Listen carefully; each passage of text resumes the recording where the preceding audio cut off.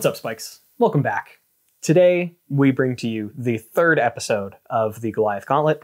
Uh, this is once again the Azalea Gauntlet. Uh, so, as a short refresher, I am playing Azalea. I'm the one that's going through the gauntlet. Uh, Jay, my good friend and a local player here in the Winnipeg scene, is joining me uh, as the guest for these. Uh, and if you don't know the previous matches, you should look at both of them. You should go watch them uh, because they were both fantastic. The last one was also fantastic, and that's all. Else. You you should you should watch it. It was a good time. Um, but uh, yeah, so today I'm going to be playing Azalea once again. Uh, I have the same loadout that I've had previously, uh, but I will still go over it just in case you haven't seen the other ones. Uh, I'm going to be running Death Dealer as uh, my bow. This is a pretty go wide deck, uh, and a lot of the cards that allow you to go wide in Azalea are usually relatively low cost. Uh, and low cost and low pitch, I, sh- I should say. So having Death Dealer to either convert a Tunic resource into another card in hand, kind of, um, that you can you know free reload something and have another thing to pitch, is very valuable in this deck. So hopefully I'll be able to keep cards in my hand to do that against uh, the deck that Jay is playing, some foreshadowing. Uh, I also have Crow's Nest, which did come up in the last game. I was able to put a name counter on something, so we'll see if that's something else that can happen. Again, just kind of a free slot um, with Rangers having access to quivers now. Uh, I'm also playing Skullbone Crosswrap, sort of a way to uh, look at the top card of my deck to see if I can uh, use uh, the top of my deck to make a dominated arrow, because dominate and arrows uh, go really nicely together. Both great things. Yeah, especially when it's specifically read in the ledger four times. Um, uh, Fyendal Spring Tunic as well. Uh, once again, just kind of a baseline good piece of equipment, especially for Ranger who doesn't quite. Well, they do have a Ranger equipment now uh, for chest piece, but it's maybe more relevant in Riptide, not so much in Azalea. So Spring Tunic is where we're going to stay. Uh, bullseye bracers as well. Uh, once again, just having access to a plus one and an arsenal uh, whenever you need it can be really useful, especially with a deck, like I said, that doesn't have as much pitch as some other decks. Uh, and Snapdragon Scalers, just to, if I can hit you twice, then I will. Uh, and I'll have access to the, that possibility. Um, but with all of that being said, Jay, who have you brought to the table today? Well, I have brought Rhinar. Hey, everybody. Once again, Jay uh, at Zen State Fab on YouTube if you want to check that out. I brought Rhinar to the table uh, for this episode. Um, beside Rhinar, I have uh, some lovely little slashy mandible claws. So I'm going to try and do some slashing here. Um, specifically with Rhinar, whenever I discard a six or greater uh, power card, uh, attack usually are the things that have those that power. Uh, I will intimidate you, and you will feel intimidated. I am very intimidated already. Perfect. Off to a great start. Um, Crown of Providence, kind of a mainstay. I've uh, had this on my head for the three games now. Amazing piece, uh, especially with decks that are have potential to whiff. You can kind of fix your hand or uh, bottom an arsenal card to gain a five card hand. Some new stuff on the bottom here: Scabskin leathers because it's fun. Uh, this can give me more actions, so I can go wide if I am good with the dice. if I roll a one, I it makes me sad. Yeah, makes everybody sad. Makes everybody sad. So we won't do that. But I do have some uh, something to fall back on here. So Gambler's Gloves, if things go awry, I can break Gambler's Gloves to roll again. Uh, Barkbone Strapping for some more rolling action. Uh, instead of Tunic, I don't need to remember my Tunic uh, counter, which is great. Uh, I can roll a dice and I gain resources equal to half of the number I rolled. Exceptional. Uh, yes, with that being said, once again, you did win the die roll, and you chose to go first, which I think is not a surprise considering Yes. uh, it is a Rhinar deck. So I feel like I'm gonna have to prepare myself for a big punch of some variety. Yes, Uh, but yes, good luck and have fun. you as well. I will begin my turn by apologizing to you in advance uh, and then playing a Blood Rush Bellow. Okay. pitching a blue card with two floating.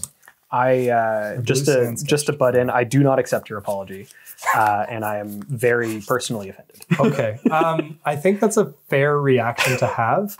Um, as an additional cost to play Blood Rush Bellow, I must discard a random card, so I will have you choose. This one, That one is a six or greater power. dang. Therefore, uh, my lovely altered Rhinar will trigger, and I will intimidate you. Okay. Uh, one, two, three, four, five, six will re-roll, and we'll probably re-roll a thousand Oh. times. Um, this one, please. Goodbye. Goodbye. Now, My brute attack actions gain plus two, so I will do that. Mhm. Uh, if the discarded card is six or greater power, I will draw two cards. One, two. And that has go again. So instead of just ending your turn, uh, which is pretty awkward with Blood Rush Bellow, I've seen it happen exactly one time. Yeah. Uh, where they just had to Hail Mary it and they whiffed. Yeah, that's not what happened here. yeah. Okay, from there, I'm going to claw you for five. Oh, I have access to cards in my hand. Yes, you do. I'll block for five uh, with this Release the Tension and this Sleep Dart. Okay. I will follow that up with a pulping. Discarding a blue, I will have a blue reckless swing. I will have one float. Uh, from pulping, I draw a card and I discard a random card. If I discard a six or greater, it gains dominate. Okay. And if you defend with less than two non-equipment cards, it has go again. So there are lots of text on this. Mhm. I will once again allow you to choose the card I This discard. one. It is a pack hunt, um, which is a six or greater power. Rhinar will once again trigger. Oh, you only have one left. I only have one okay. card in my hand. Yeah. So I will intimidate that, okay. Okay. and then this will come in for uh, eight with dominate. I will take eight damage. Okay. From there, I'm going to roll barkbone strapping. Oh. We like to roll some dice. Okay. So I'm going to roll some dice. I'm going to gain resources equal to half of the number rolled, and it's not going to be a one. You know what? That's fair. I, I've done enough. I, I've done enough. Yeah. Um, so this breaks. I do not gain a resource. Perfect. Uh, I will still make you somewhat sad. See, Hmm. I could have come in with a pulping, which would have been scary. Ah, yeah. Uh, I'm just going to pitch it and claw you for five. I will be taking that five. Okay. I Going down to seven on turn one is okay. Yeah. Yeah. That's a that's a good trade. I think. I will pass the turn. okay. I would like to tick up my tunic to one, Mhm. and I would like to arsenal this card. Pass to you. Excellent. There's, Excellent choice. There is not much else that I was able That's to do with my hand. Uh, on my turn, I'm going to play a barraging beatdown. My next brute attack this turn will gain uh, plus four attack unless you block with two non-equipment cards. Uh, it has intimidate. Intimidate. This one. okay. I will follow that up with uh, swing big. This will be coming in for twelve or eight. Hmm. Both numbers are larger than your life total. Correct. Uh, I would like to block with two cards from my hand. Yes. Uh, this Nock the Deathwhistle and this lace with blood rot, Okay, so we'll go back down to eight, and you will be taking three. and I will take three. Okay, I will move to Arsenal. I'm going to tick my tunic up to two. Then this will seem like I did a foolish thing, but once uh, people see what's in my hand, they might understand. I'm going to activate my Skullbone Cross Wrap and reveal this Fate Foreseen from my arsenal. And I would like to opt one. Put that on top. Azalea. Infecting shot. Ooh. We saw an arrow, ladies and gentlemen. we saw an arrow. So, because I put this infecting shot face up into my arsenal from my deck, I will actually trigger my crow's nest. And I'm going to pitch this rain razors in order to do so. I'll have one resource floating, and this will get an aim counter. Excellent. Then uh, I would also like to play this release the tension uh, to give it plus three, and you can't play defense reactions from arsenal this chain link. Then uh, this will be coming in for nine with dominate. And if it hits you, you will get a blood rot pox. I think it's going to hit me. Okay, Nine dominate. nine dominate, and no defense reactions if that's a defense reaction specifically. Okay, I will be blocking with this Command and Conquer, this Crown of Providence, and this Scabskin Leathers for a total of seven. okay, And I will be uh, sinking my arsenal with the Crown. okay. Uh, so it will deal two damage to you, Yes. And I give you this shiny, nice little thing. Thank you so much. You are exceedingly welcome. And I will pass the turn over to you, and hopefully you drew only uh, barraging beatdowns and nothing else. Thank you for the well wishes. Uh, I understand it. I, I understand. I will play a barraging beatdown. I didn't mean it. it's just sort of a nice thing that you say to people. So this is again a red one, so plus four or nothing if you block with two from hand. Uh, reroll. No. this one. Okay. I will follow that up with a Savage Feast, pitching a yellow Beast Within. I'll have one float. As an additional cost to play it, I will discard this Massacre, which is a good card to discard to it. Uh huh. So when uh, Massacre is discarded to play to pay the cost of a brute attack action card, I get to intimidate. Uh, so Rhinar will also trigger, and I will intimidate two cards from your hands. Two, four, six. Uh, this one, and one, two, three. This one. Um, this is coming in for ten. Okay. But if I block with two cards, it's only for six, right? Correct. Okay.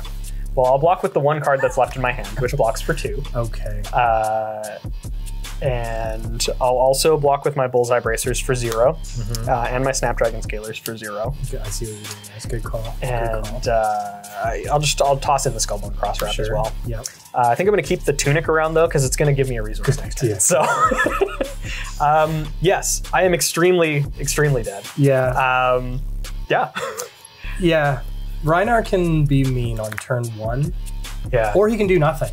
The the most unfortunate part was I blocked with the sleep dart, and that was the only arrow that was within the top eight cards of my deck. Oh, Uh, that's a problem. yeah, and then I had the Nock the Deathwhistle as one of the two cards that I could block with on that turn. That would have given me an arrow, but because I had arsenaled the fate foreseen, even if I Nock the Deathwhistle, all it does is put one on the top, which like maybe I should have done, but uh, yeah, it was just an unfortunate draw against an extremely fortunate draw. Yeah, yeah. It doesn't. Really, yeah, the two red barragings. It doesn't really get much better. And I feel like, in hindsight, I feel like Rhinar is particularly punishing into Azalea because Azalea wants to block with very specific cards. Yeah. she wants to keep very specific cards, and the intimidates just don't allow Yeah, you to make it- those choices. it adds an extra level of chaos to a deck that really wants its its ducks in a row. Yeah, Um, so yeah, I mean that is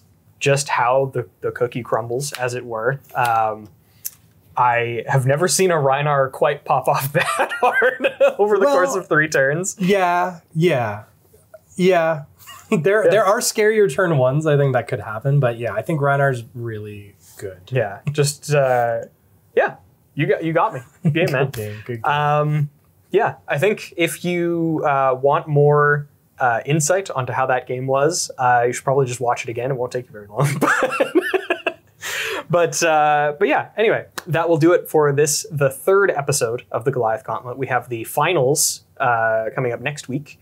Which uh, do you want to give them a, a sneak preview of who you're going to play? Yeah, so uh, I'm going to run Lexi into Bill's Azalea. I am not a very good archer player, so this one should be interesting. Um, yes, and I think I'm probably going to get, uh, I'm going to make Red Zone Rogue angry, I think, because I'm taking his no fuse Lexi build and I'm going to play it entirely wrong. and I'm going to make some very questionable changes to the deck with new cards. Well, I'm sure that he'll just be excited to see the deck in action. Um, it, and it is what it is. But um, yeah, thank you once again for for joining us for yet another episode. Uh, thank you at home for watching, and uh, stay well, stay safe, and we will catch you all next week in the next episode. Hey, thanks for checking out the Spike Feeders on YouTube. Before you close the window, make sure you click subscribe for more great flesh and blood content.